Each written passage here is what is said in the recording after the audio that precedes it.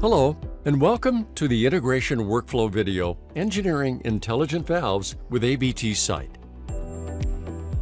We're going to demonstrate how the solution partner will benefit from the following features. Offline engineering, templates, mass creation, and application and device overview. The main tasks involve configuring the application templates, adding the devices, and modifying the instance-specific values. The project's building hierarchy consists of three air handling units. Each air handling unit has a cooling coil with an intelligent valve installed. To guarantee the most accurate supply air handling temperature delivered by the air handling units, the intelligent valves must be parameterized with the values shown in the table. The system topology comprises a PX automation station and the three intelligent valves. The job site specification requires the intelligent valves to be controlled via BACnet IP. The network plan shows all relevant information needed for the communication, such as types and host names, IP addresses and subnet mask, BACnet names, descriptions, and device instance numbers. With this information, the engineering can begin. The overall project is created in XWorks Plus. The project already includes the instantiated PX automation station with the three configured air handling units. We switch to the network configurator to confirm that the network settings are correct as they are key for the communication between devices. The address range of the IP segment needs to include the addresses of both the PX automation station and the intelligent valves. As we can see, the PX automation station has already been created, but the intelligent valves are missing. To engineer them, switch to ABT Site. With ABT Site open, we start the engineering by configuring an application template. Navigate to the Building tab, and from Add Device menu, add an application template. A tab called Configuration opens. We can select a template from our project if one exists, or we can select a template from the library. We will create a template based on an Intelligent Valve standard template. If the Intelligent Valve standard templates are not part of the library yet, run the provided installer file to import them. In this demonstration, the commissioning and balancing are done by the same company, so we will use the template with balancing parameters. We click on the Add Template to Project button and give the template a name and a description.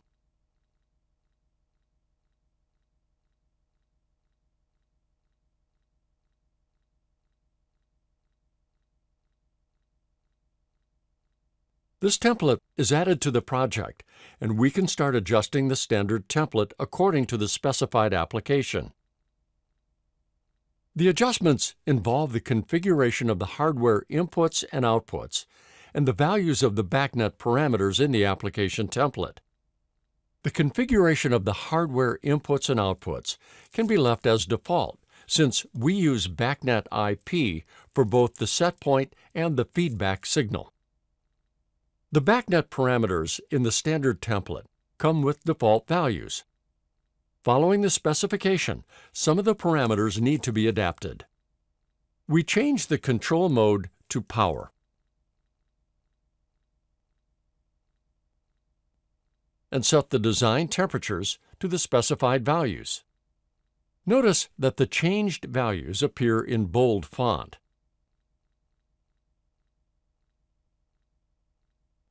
The column Available on AS allows us to make parameters visible and editable on the device instance level. We only select the parameters that deviate from the default to more easily keep the overview.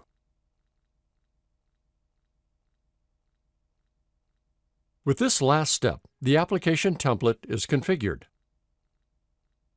Next, we add the three intelligent valves. In the Building tab, Two conditions must be satisfied before we can add the devices. First, a building structure is required. If there is none, one must be created. Be aware that Desigo CC displays the building hierarchy of XWorks Plus and not that of ABT Site. Second, the BACnet and IP ranges must be entered if they have not previously been set.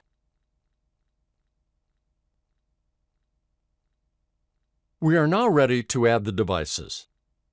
We click on the Add Device button to open the window. In this section, we add a device via an application template. This template can be from the project, the library, or any external project.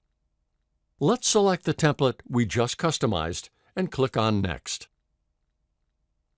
This loads the application. We define the number of devices in the toolbar. It is possible to modify the parameters in the tabs available here.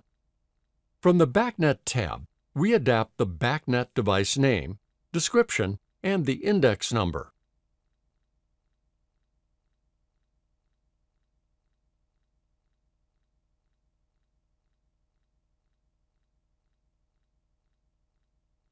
From the Address tab, we adapt host name, IP address, and index number.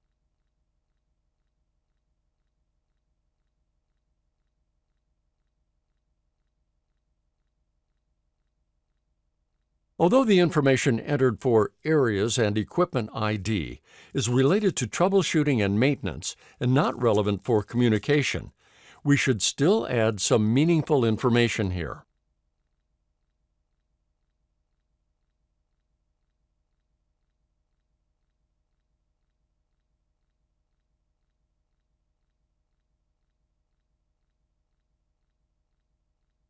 In this section, we see a summary of the devices and the modifications. We click on OK to add the devices below the building level.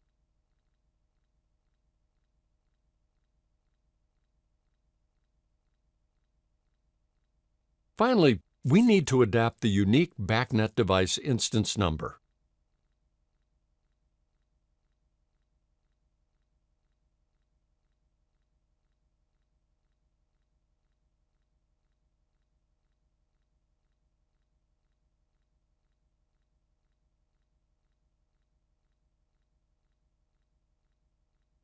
The listed intelligent valves are updated with status modified. In the steps to follow, we modify instance-specific parameters of each intelligent valve according to the specification. To do so, we switch to the Application and Device Overview and choose the application template. In the Instance Parameter tab, we find the parameters that we marked to be available on the device instance level while we were configuring the template. The changes made to the values of these parameters are applicable to this device instance only. Let's adjust all the parameters that deviate from the template. In our case, we only need to change the relative maximum volume flow present value for each valve.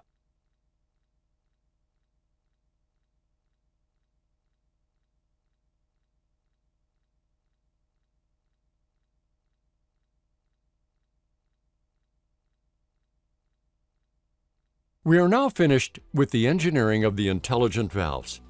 To learn about engineering the PX Automation Station, check out the next video.